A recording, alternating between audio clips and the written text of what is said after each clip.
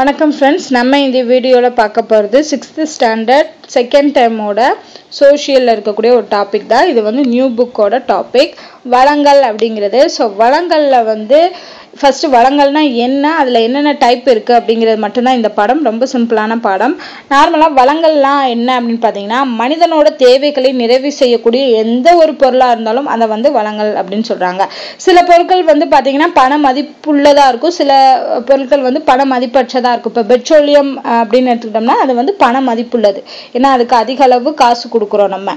அதே இது பண மதிப்பற்றதுக்கு எடுத்துக்காட்டுன்னு பார்த்தீங்கன்னா காற்று நீர் இதுக்கு இது வந்து எல்லா எளிதில் கிடைக்கக்கூடியது. அதனால இது வந்து பண மதிப்பற்றது அப்படின்னு சொல்கிறோம் வளங்களில். அடுத்து இந்த வளங்களில் பார்த்தோம் அப்படின்னா மூன்று வகைப்படும். ஓகேவா ஸோ மூன்று வகையான வளங்கள் இருக்குது அதுக்கு முன்னாடி ஒரு உங்களுக்கு தெரியுமால கொடுத்துருப்பாங்க. ஸோ ஒரு ஒரு பொருள் நார்மலாக இருக்கக்கூடிய ஒரு பொருள் வளமாக மாறுறதுக்கு ரெண்டு முக்கிய காரணிகள் இருக்குது ஒன்று வந்து காலம். ஒரு குறிப்பிட்ட காலத்தில் நமக்கு அது வந்து அதோட தேவைகள் வந்து அதிகமாக இருக்கும்போது அது நமக்கு வளமாக ஒரு பொருளை வளமாக மாற்றக்கூடிய காரணிகள் என்ன அப்படின்னு கேட்டாங்கன்னா காலமும் தொழில்நுட்பம். ஸோ எக்ஸாம்பிள் வந்து நிலக்கரியும் பெட்ரோலியம். ஏன்னா இதோட இருப்பு வந்து குறைஞ்சிக்கிட்டே போகுது. ஸோ அதனால என்ன பண்ணுறாங்கன்னா ஒரு புதிய டெக்னாலஜியான சூரிய ஆற்றலை மின்னாற்றலாக மாற்றக்கூடிய டெக்னாலஜி வந்து கண்டுபிடிச்சிருக்காங்க.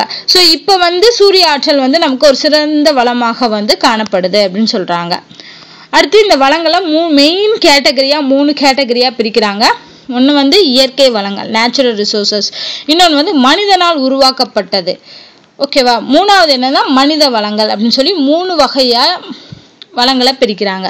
இல்லை இந்த இயற்கை வளங்கள் பார்த்தோம் அப்படின்னா நமக்கு இயற்கையாக நே இயற்கை நமக்கு கொடுக்கக்கூடிய வளங்கள். ஸோ இப்போ எக்ஸாம்பிள் எடுத்துக்கலாம். காற்று நீர் மண் சூரிய ஒளி கனிமம் இது எல்லாமே பார்த்தீங்கன்னா இயற்கை நமக்கு கொடுக்கக்கூடிய ஸோ இயற்கை சார்ந்து நம்ம வாழ்கிறோம் ஓகேவா ஸோ அதனால் இதை இயற்கை வளங்கள் அப்படின்னு அழைக்கப்படுது. இந்த இயற்கை வளங்களை நிறைய வகைகளாக பிரிக்கிறாங்க. அதோட தோற்றத்தை வச்சு வளர்ச்சி நிலை புதுப்பித்தல் பரவல் உரிமை இது எல்லாத்தின் அடிப்படையிலும் வெவ்வேறு வகையாக பிரிக்கிறாங்க. ஸோ அந்த வகைகள் என்ன அப்படிங்கிறதா இந்த பாடமே.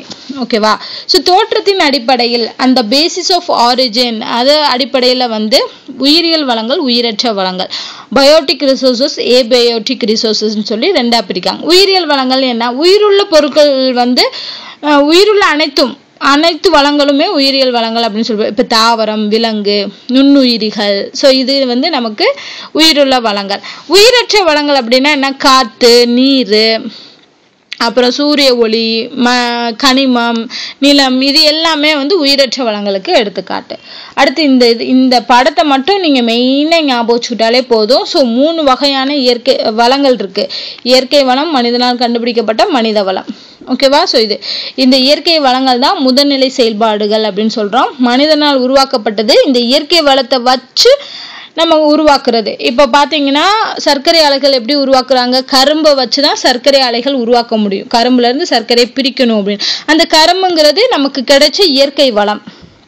ஓகேவா ஸோ அப்போ அந்த இயற்கை வளங்களை யூஸ் பண்ணி மனிதன் உருவாக்கக்கூடிய வளங்கள் தான் மனிதனால் உருவாக்கக்கூடிய வளங்கள். இதுதான் இரண்டாம் நிலை செயல்பாடுகள் அப்படின்னு சொல்கிறோம் அடுத்து மனித வளங்கள் அப்படிங்கிறது மூன்றாம் நிலை செயல்பாடுகள்.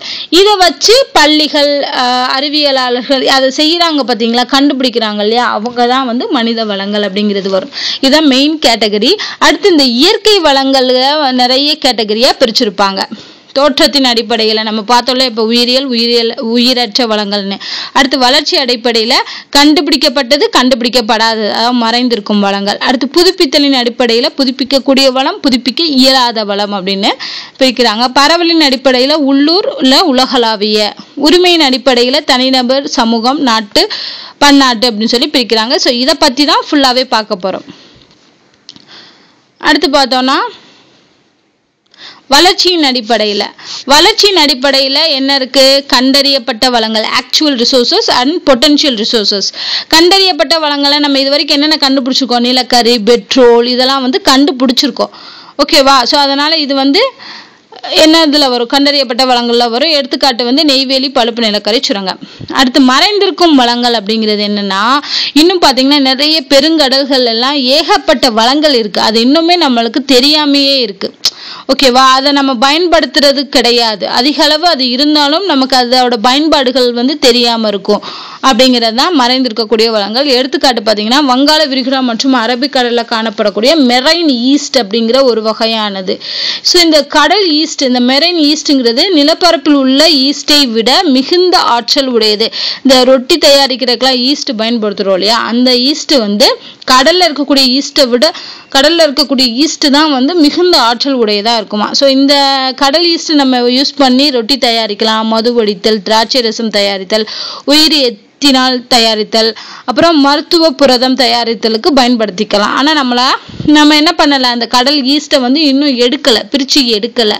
எடுத்தோம் அப்படின்னா அதோட என்னது அதோட யூஸ் வந்து அதிகமாக இருக்கும் அப்படின்னு சொல்கிறாங்க இதனால இது மறைந்திருக்கும் வளங்களுக்கு எடுத்துக்காட்டாக இருக்குது அடுத்து புதுப்பித்தலின் அடிப்படையில் பார்த்தோம்னா புதுப்பிக்கக்கூடிய புதுப்பிக்க இயலாத ஸோ இதை வச்சே சொல்லிடலாம். புதுப்பிக்கக்கூடிய அப்படின்னா நிறைய முறை வந்து நம்மளால் அதை மறுசுழற்சி செய்யப்பட முடியும். ஓகேவா? எடுத்துக்காட்டு காற்று நீர் சூரிய ஒளி இது எல்லாமே. புதுப்பிக்க இயலாத வளங்கள்னா ஒன் டைம் யூஸ் தான். ஒரு தடவை யூஸ் பண்ணோம்னா திருப்பி அதை வந்து உருவாக்க முடியாது. அது ஈஸியாக தீர்ந்து போகக்கூடியதாக இருக்கும். எடுத்துக்காட்டு நிலக்கரி பெட்ரோலியம் இயற்கை வாயு கனிமங்கள். அது இருக்கிற வரைக்கும் நம்ம யூஸ் பண்ணிக்கலாம். அவ்வளோதான்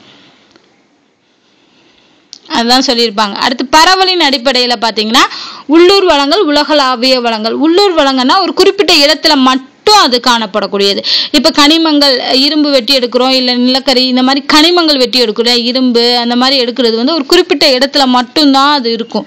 ஸோ அது வந்து லோக்கலைஸ்டு ரிசோர்ஸ் அப்படின்னு சொல்லுவோம். சில வளங்கள் வந்து எல்லா இடங்கள்லையுமே காணப்படும். உலகிலே எல்லா இடங்கள்லையுமே காணப்படக்கூடிய வளங்கள் இருக்கு. அது வந்து யுனிவர்சல் ரிசோர்ஸ்னு சொல்றோம். எடுத்துக்காட்டு சூரிய ஒளி காற்று இதெல்லாம்.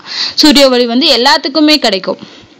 அடுத்து உரிமையின் அடிப்படையில் பார்த்தீங்கன்னா தனிநபர் வளங்கள் சமூக வளங்கள் நாட்டு வளங்கள் பன்னாட்டு வளங்கள்னு சொல்லி நாலு வகைப்படுத்துறாங்க.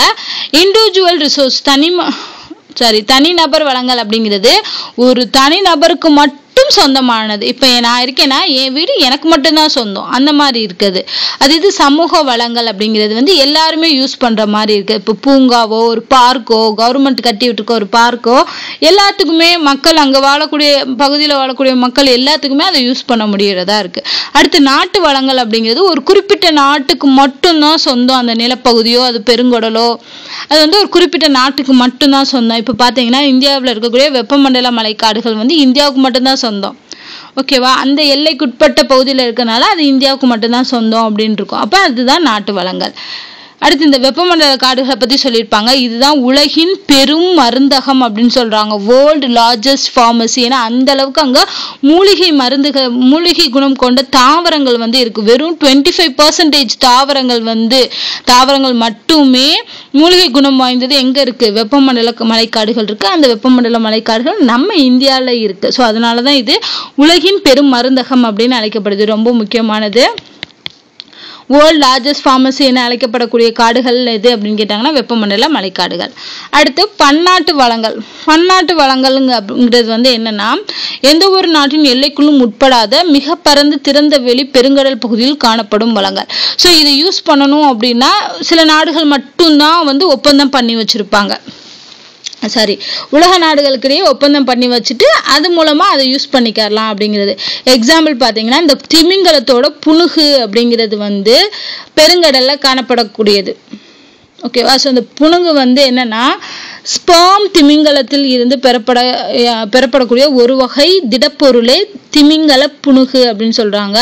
இதோட உ- உ- விலை பார்த்தீங்க அப்படின்னு பார்த்தீங்கன்னா ஒரு பவுண்ட் திமிங்கல புழுகோட விலை வந்து அறுபத்தி மூணாயிரம் அமெரிக்க டாலர்கள்.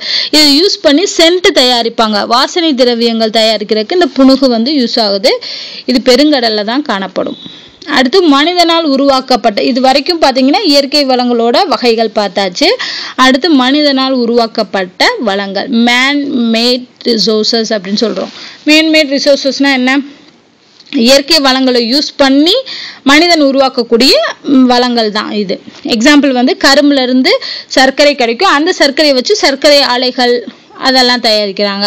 அப்புறம் காடுகள் காட்டில் இருக்கக்கூடிய பொருட்களை வச்சு கட்டுமான பொருட்கள் தயாரிக்க வீடு சாலைகள் பாலங்கள்லாம் தயாரிக்கிறது. ஸோ இதுதான் மனிதனால் உருவாக்கப்பட்ட ரிசோர்சஸ் இது எல்லாமே வந்து இரண்டாம் நிலை செயல்பாடுகள் அப்படின்னு சொல்கிறோம் ஏன்னா முதல் நிலை செயல்பாடுகளை யூஸ் பண்ணி நம்ம இதை வந்து த- இந்த வளங்கள் எல்லாம் தயாரிக்கிறதுனால இயற்கை ரிசோர்சஸ் யூஸ் பண்ணி தயாரிக்கிறதுனால இது செகண்டரி ஆக்டிவிட்டீஸ் அப்படின்னு சொல்கிறோம் அடுத்து மனித வளம். இது வந்து என்னது மூன்றாம் நிலை செயல்பாடுகள் அப்படின்னு சொல்லப்படுது. அதாவது இயற்கையிலிருந்து புதிய வளங்களை உருவாக்கும் தனிநபர் குழுக்கள் வந்து மனித வளம் அப்படின்னு அழைக்கப்படுறோம். இப்போ சயின்டிஸ்டாக இருக்கட்டும் அப்புறம் வேற யார் டாக்டர்ஸ் அந்த மாதிரி இருக்கக்கூடிய ம மருத்துவர் ஆசிரியர் இவங்க எல்லாமே மனித வளம் அப்படின்னு அழைக்கப்படுறாங்க. ஸோ முதல் நிலை இரண்டாம் நிலையில் கிடைக்கும் பொருட்களை வ- பகிர்வதற்கான போக்குவரத்து மற்றும் வணிக அமைப்பே மூன்றாம் நிலை செயல்பாடுகள். ஸோ இது வந்து டெரிட்டரி ஆக்டிவிட்டீஸ் அப்படின்னு சொல்கிறோம் பேங்க்கு அப்புறம் வணிகம் தகவல் தொடர்புத்துறை இது எல்லாமே இந்த மூன்றாம் நிலை செயல்பாடுகளில் வரும்.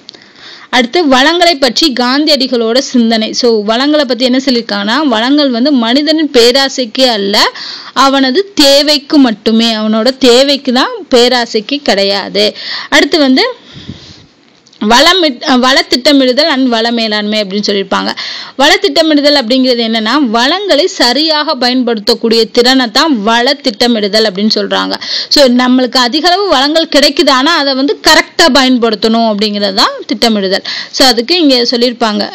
அடுத்து வளங்களை பாதுகாத்தல். ஸோ வளங்களை கவனமாக கையாளுதல் வந்து வளங்களை பாதுகாத்தல் அப்படின்னு சொல்கிறாங்க ஏன்னா வந்து நம்மளோட மக்கள் தொகை வந்து திடீர் அதிகமாகும். ஸோ அதுக்கேற்ற மாதிரி வளங்களோட பயன்பாடுகளும் அதிகரிக்கும். அதனால நம்ம வந்து அதோட பயன்பாட்டை வந்து கவனமாக கையாளணும்.